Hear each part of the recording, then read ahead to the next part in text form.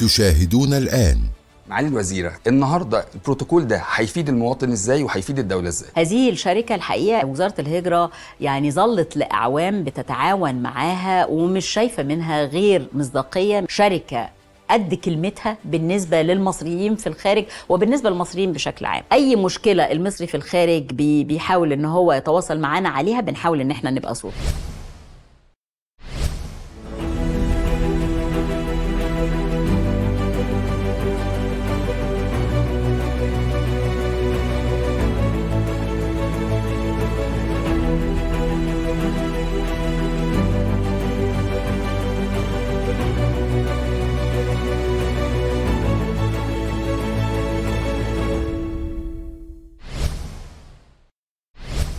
بداية النجاح الحقيقي لتصدير العقار في مصر هو دعم المعارض الدولية المؤهلة لتسويق المنتج العقاري المصري واللي قادرة تقدم عروض وفرص وبرامج تمويل قوية سواء للمستثمرين الأجانب أو للمصريين المقيمين بالخارج. لكن السؤال اللي دايما بيكون شاغل المستثمرين بره مصر إيه الضمانات اللي بتوفرها الحكومة لتسهيل إجراءات شراء وتسجيل الوحدات؟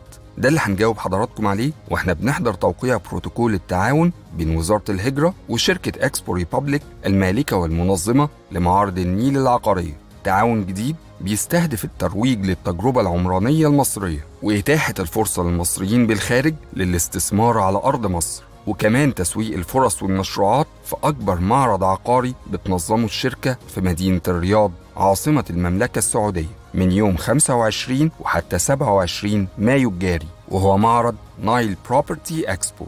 وخلي بال حضراتكم دعم الحكومة للمعارض الدولية المتخصصة في القطاع العقاري ضمانة حقيقية للنهوض بالصناعة ومواجهة التحديات الصعبة اللي بتواجه القطاع العقاري في الفترة الأخيرة. والأهم كمان بتساهم في زيادة ثقة المستثمر الأجنبي في شراء الوحدات والاستثمار في السوق المصري.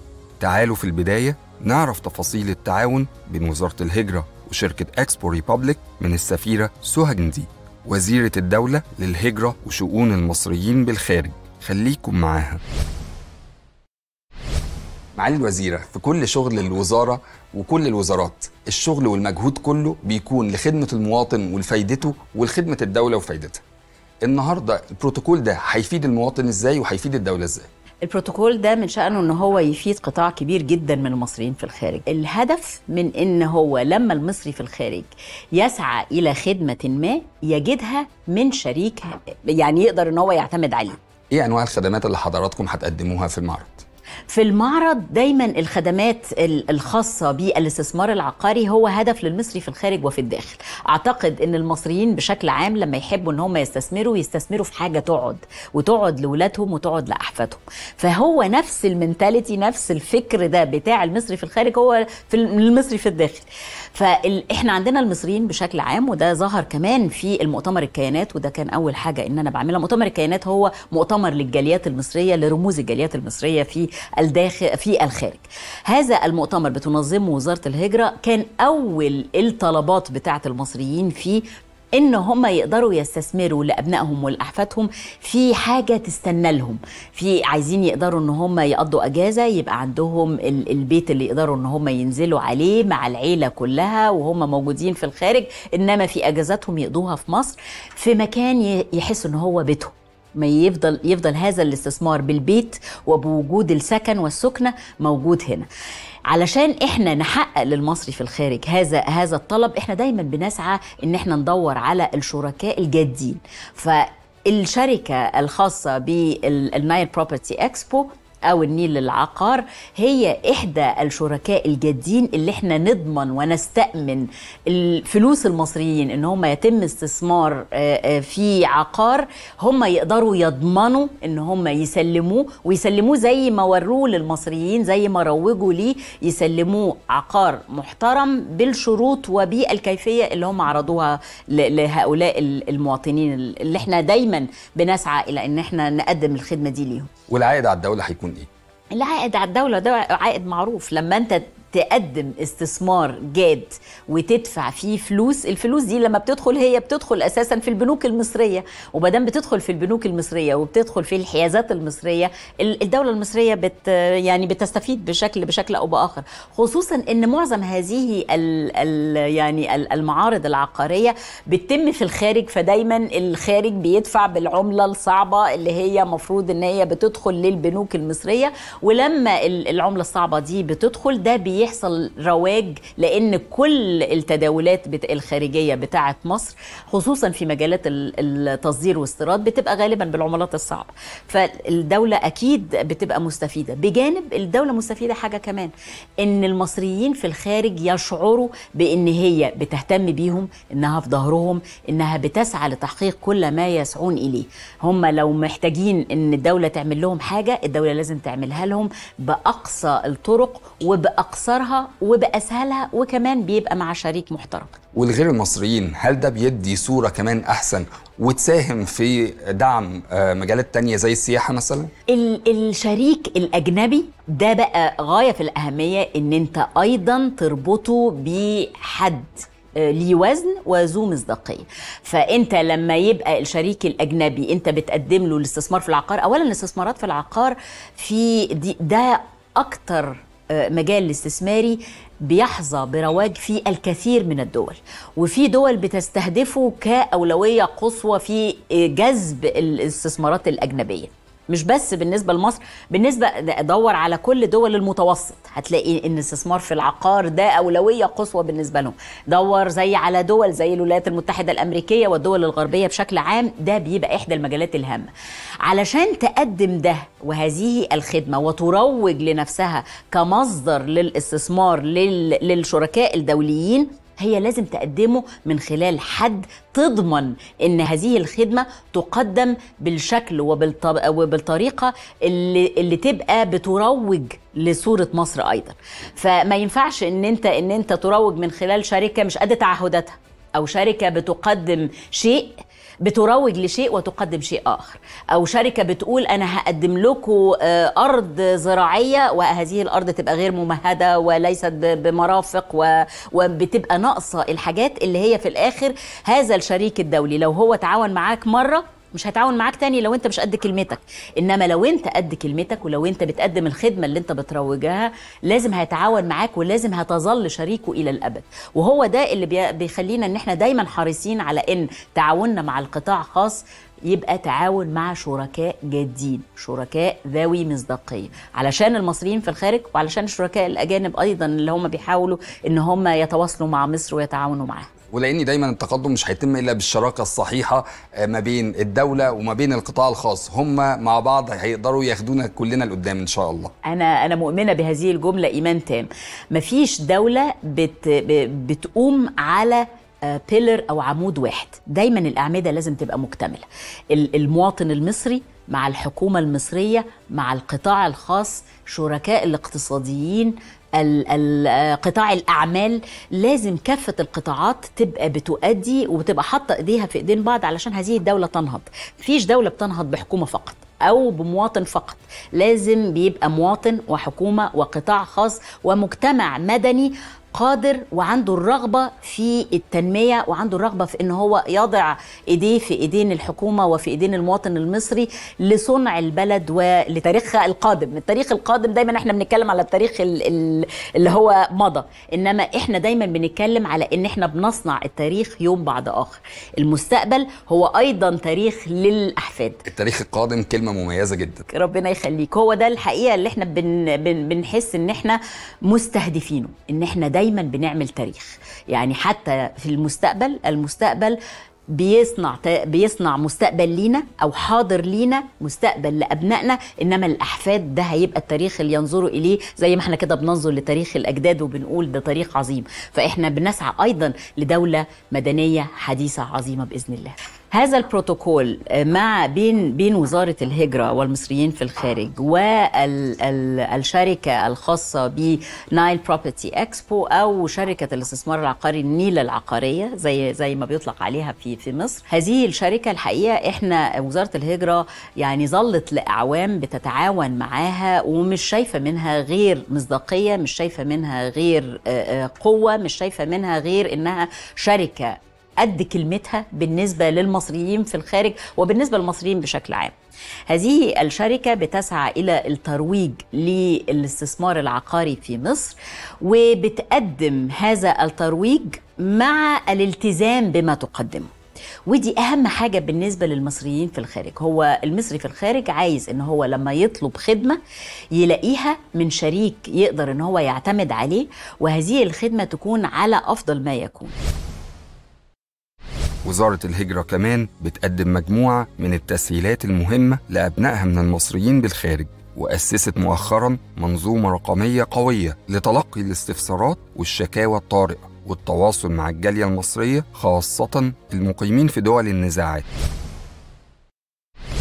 حضرتك مثلتي مصر وشرفتينا في أمريكا وفي أوروبا وفي الأمم المتحدة وكان معروف عن حضرتك دايما اهتمامك جدا بربط المصريين اللي عايشين بره مصر ببلدهم الأم. والنهارده حضرتك بتقودي وزارة الهجرة. إيه المجهودات اللي بتعملها وزارة الهجرة لربط الطيور المهاجرة بره مصر؟ اولا إحنا الأهداف هم عدد من الأهداف آه، الخاصة بولاية عمل الوزارة. أهمهم هو التواصل مع المصريين في الخارج في أي مكان سواء كان هذا المكان دولة صغيرة سواء كانت دولة نزاعات سواء كانت دولة عظيمة ودولة كبرى. إحنا مع المصريين وفي ظهرهم نتواصل معاهم بكل الطرق. إحنا بنتواصل معاهم من خلال العديد من الأشكال سواء فعليا إن إحنا بنروح لهم في جولات فعلية أو بالنسبة للتواصل ال virtual أو التواصل اللي هو بيسموه إلكتروني اللي هو الحاجة الوحيدة العدلة اللي إحنا طلعنا من كوفيد 19 منها هو التواصل الإلكتروني التطور ال- الكبير اللي حصل. التطور الكبير اللي حصل في ال- التواصل ال- ال- الافتراضي زي ما بيسموه فإحنا ملوك الت- التواصل الافتراضي لأن إحنا على طول بنعمل Zoom meetings على طول بنعمل يعني اجتماعات افتراضية إلكترونية بكافة الجاليات. إحنا عملنا لحد دلوقتي اجتماعات بجاليات تصل إلى من من 40 ل 45 جالية. يعني من ساعة ما توليت لحد دلوقتي آه، رحنا فعليا في جولات خارجية ثلاثة بس إنما بنعوضها بال Zoom meetings لأن طبعا يعني إحنا برضو آه، يعني خلي بالك إن هذه الحكومة برضو تسعى إلى إن هي آه، يعني يعني تبقى بترشد في النفقات. فما بنقدرش إن إحنا ننطلق زي ما إحنا يعني الانطلاقات ال- الجامدة دي لازم برضو إن إحنا نعمل الحاجة بأكبر قدر من الإنجاز في أقل المساحات الممكنة. التواصل الآخر إحنا على طول موجودين مع المواطنين المصريين من خلال كافة أشكال ال social media. موجودين في الجروبات بتاعتهم على الواتساب. أنا شخصيا فعليا والفريق العمل بتاعي في في وزارة الهجرة متواجدين على هذه الجروبات أي نوع من أنواع الشكاوى أي نوع من أنواع الأطروحات أي نوع من أنواع الأفكار إحنا على طول بناخدها وبندرسها وبنحاورهم بشكل شخصي. يعني كتير جدا الناس بتقول لي إحنا في حد اداني الرقم ده الرقم ده تقدروا بس توصلونا بمعالي الوزيرة؟ لما بقول لهم إن أنا هي يعني يعني الناس ما بتفاجئ بيصدقوش. الناس بتفاجئ إحنا كمان يعني حابين دايما إن في هذا التواصل نكسر حتة اللي إحنا ان, أصل المسؤول ده في برج عاجي و المجتمع ال- ال- الجديد اللي تحول إلى قرية هذا هذا العالم اللي تحول إلى مش بس المجتمع الحقيقة العالم كله تحول إلى قرية. وإحنا لسه بنتكلم على التواصل الافتراضي. ما بيسمحش بوجود هذه ال- الحواجز. ما بيسمحش بإن المسؤول يبقى في برج عاجي والمواطن يبقى في مكان آخر. دايما التواصل لازم يبقى تواصل مباشر. أنا محتاجة أسمع من الناس والناس محتاجين يسمعوا مني. لما بيبقى في وسايط وبيبقى في وصلات في السكة دايما الرسالة ما بتصلش آه،. واضحة وما بتصلش حقيقيه إحنا ال ال والرسالة لما بتبقاش واضحة وما بتبقاش حقيقية بتؤدي إلى وجود الكثير من الإشاعات. فمهم جدا إن أنت تبقى واصل صوتك واصل. فأنا واصل يعني يمكن إحنا مش واصلين في الإعلام على قد ما إحنا واصلين في ال social media مع الناس شخصيا. مع ال- ب- بتاع ده في كافة ال- ال portals في كافة أشكال ال- ال social media موجودين. صفحاتنا على على كل ال- ال- ال- اللي هي على كل الأشكال ال- الت- التواصل الاجتماعي ووسائط التواصل الاجتماعي. آه، بنتكلم وبنعمل مش بس بنتكلم. كمان بنعمل. لما بيبقى في مشكلة بنشرح وبنوضح وبناخد هذه المشاكل وبنحاول إن إحنا نتواصل مع المؤسسات المختلفة وبنوصل صوت المصري في الخارج إلى هذه المؤسسات. إحنا كمان موضوع التواصل مش بس إن هو بيقف عند كده. إحنا كمان بنحاول نكون إن, إن إحنا صوت المصري في الخارج لكافة المؤسسات سواء كانت هذه المؤسسات مؤسسات وطنية مؤسسات حكومية أو مؤسسات خاصة. أي مشكلة المصري في الخارج بي بيحاول إن هو يتواصل معانا عليها بنحاول إن إحنا نبقى صوته. إحنا كمان بنحاول كمان نوصل صورة مصر للمصري في الخارج. بمعنى إيه؟ بمعنى ان إن إحنا المصري في الخارج عايز من دولته إيه؟ عايز من دولته إن يبقى عنده عنده عقار. عايز من دولته إن هو يبقى عنده ولاده بيدرسوا. آه عايز من دولته إن هو يقدر ينزل أجازة من بتذكره لمصر للطيران. عايز من دولته إن هو لما يحب إن هو يدخر ويستثمر يقدر إن هو يبقى يلاقي بنك يوفر له ودايع الدخاريه يلاقي حسابات تقدر إنها توفر له ميزة يستثمر فيها لأبنائه. anel. هذه الخدمات إحنا على تواصل مع كافة المؤسسات وكافة الشركات عشان نديهم أفضل نوع من أنواع ال ال يعني المزايا الممكنة للمصري في الخارج. إحنا كمان بنحاول بقدر الإمكان إن إحنا نشوف احتياجاتهم. آه عايزين ينزلوا سيارة من غير آه، آه، جمارك ولا ضرائب هم كانوا الحقيقة بيسعوا إن السيارة دي تكون ب ب يعني سعر خاص للجمارك والضرائب إحنا لغينا لهم ه- هذه من خلال المبادرة بتاعت سيارات المصريين في الخارج عملناها ولغينا فيها أي نوع من أنواع الضرائب أو الجمارك أو الرسوم في مقابل وديعة بنكية. فيبقى هنا إحنا بن دايما زي ما كنت بقول لحضرتك قبل ما نبتدي الحلقة إحنا بنحاول نحقق المعادلة الصعبة. المعادلة الصعبة هي إن إحنا نخلق وين وين سيتويشن. يبقى يبقى موقف يؤدي إلى نجاح أو توفيق للجميع. الحكومة تبقى متوفقة في إن هي دخلها وديعة بنكية لكام سنة وبعدين ترجعها للمواطن المصري بكل جنيه يرجع عن بكرة أبيه زي ما بيقولوا ويكون ب يعني واستفاد كمان بالعربية اللي دخلت. وال- وبالظبط كده. والمصري يكون استفاد بالعربية اللي دخلت وكمان ما دخلتش ولا جنيه جمرك ولا جنيه ضريبة ولا جنيه آه، بأي رسم من الرسوم لأنها رجعت له بعد هي عربيته اللي. كان شغال بيها بره وبعدين جابها وجه ف- أو حتى عايز عربية جديدة. ان قرر إن هو يشتري عربية جديدة ي- تبقى موجودة هنا في مصر في الأجازات أو حتى لما يعود العودة النهائية. كمان إحنا إحنا بنشتغل على الكثير من الملفات الأخرى. بنشتغل على ملف مكافحة الهجرة غير الشرعية بنشتغل على ملف ال- التواصل اللي ما بين الأجيال ما بين ال- الأبناء بقى والأحفاد من الجيل الثاني والثالث والرابع والخامس. التواصل من خلال إن إحنا نوصل لهم مصر وتاريخهم ن- نحفظ لهم جذورهم نحفظ لهم لغتهم العربية ن- نفهمهم يعني إيه هذه الدولة العظيمة إزاي كانت وإزاي بقت. أيضا إحنا إحنا كمان بنشتغل على الترويج لمصر ك والترويج للاستثمار المصري سواء مع ال- المصريين في الخارج أو مع ال- الشركاء الاقتصاديين الكبار. إحنا عندنا كل المستثمرين المصريين وعلى فكرة إحنا من ضمن المستس... من ضمن المصريين في الخارج الكثير منهم بيعملوا في الاستثمار في في الخارج. بقى ليهم شركات وليهم مؤسسات كبيرة بره مصر. مؤسسات كبيرة بره مصر بيشتغلوا في كبريات ال ال الشركات ال- البورصات العالمية بيشتغلوا في كبريات الشركات وليهم شركات باسمهم وليهم أسماء أم، يعني الاسم لوحده أه، وجوده في السوق ال- الدولي بيبقى له وزن وبيبقى له قدر. هؤلاء ال ال ال يعني ال- المستثمرين المصريين وكبار الشركاء الاقتصاديين بيجوا يقعدوا معانا لما يجوا يدخلوا السوق المصري. لو عندهم تحديات ال- ال- وزارة الهجرة بتحاول إنها توفر يعني التذليل هذا التحدي من خلال العلاقة بمختلف المؤسسات ال- ال- سواء كانت حكومية أو غير حكومية آه، بنحاول كمان من خلال المبادرة آم، إن إحنا إحنا دايما بنسمع في, مصر الناس بتتكلم على الغلا بتتكلم على إن الأزمة الاقتصادية دي كأنها أزمة مصرية. فبنسعى كمان من خلال مبادرة لماذا نستثمر في مصر اللي إحنا عاملينها إن إحنا ناخد آه، بعض دقائق من المستثمرين المصريين في الخارج إن هم يقولوا لنا هل الأزمة دي فعلا هي أزمة اقتصادية خاصة بمصر ولا دي أزمة عالمية. ون ونكلمهم ليه بتستثمروا في مصر؟ يعني هم دول المستثمرين دايما المصريين في الخارج بيحبوا يستثمروا في بلدهم.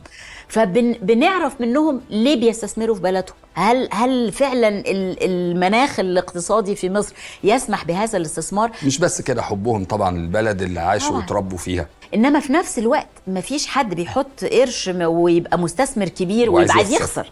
فهو يقول لنا ليه بيستثمر في مصر؟ هل فقط حب ولا حب ونجاح.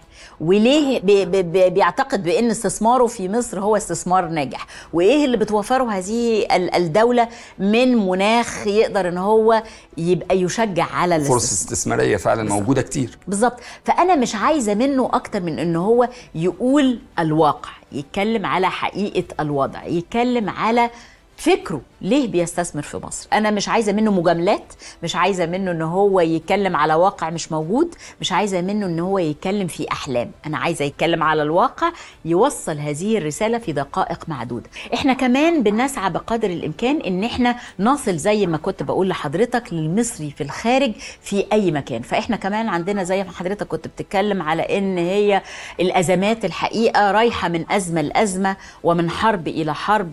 كنا عندنا المواطنين مش بس المصريين العالم كله بيعاني من الحرب الأوكرانية الروسية وبعدها دلوقتي حرب السودان. وإحنا الحقيقة محاطين بجوار يعني يعني صعب وشائك. فإحنا بقدر الإمكان بنسعى لمساعدة دول الجوار اللي هم في حالات صعبة إنما كمان بنسعى إلى إن إحنا ننقذ أبنائنا وجالياتنا اللي موجودة في هذه الدول الصعبة. كان آخر يعني مجهود إحنا لسه ما زلنا بن- بنشتغل عليه دلوقتي وزارة الهجره واحدة من أقطاب المعادلة الخاصة بالمؤسسات الوطنية والحكومة ال- اللي هي آه، بتساعد المواطنين المصريين على العودة إلى إلى بلادهم في آه، دول الأزمات. آه، عملنا كده في أوكرانيا بنعمل كده في روسيا وما زلنا نعمل في في السودان لعودة جميع أبنائنا لعودة جميع الجالية. إحنا تقريبا عندنا في حدود 10000 مواطن مصري في السودان على الأقل 5000 منهم من الشباب اللي بيدرسوا في الجامعات السودانية. كنت حريصة يعني لأن الحقيقة الحرب حصلت في الأعياد يعني عيد القيامة المجيد وبعديه في آه، عيد الفطر. المبارك. أبنائنا ما بيحتفلوش بالعيد لأن عندهم حرب فإحنا كمان وزارة الهجره ما كانتش بتحتفل بالعيد لأن كان عندنا حرب. في طوارئ عشان توصلوا. لهم وتطمنوا عليهم. طوارئ. أنا وفريق العمل. يعني أنا وفريق العمل قاعدين ليل نهار ما بننامش لحد ما بنطمن على إن هؤلاء الأبناء وصلوا بالسلامة. هذه الجالية وصلت إلى أرض الوطن. ساعتها بس بنتنفس الصعداء وبنحس إن إحنا عملنا مهمتنا على أكمل وجه. تشاهدون بعد قليل. مصر محتاجة حملة إعلانية وإعلامية دولية كبيرة تسوق لنفسها وجود وزارة الهجرة كداعم ليكم فرق معاكم في التسويق المعارض 100% فرق طبعا. مصر عندها ثروة عقارية النهاردة إنها تجلب عملة صعبة للدولة بشكل فوري.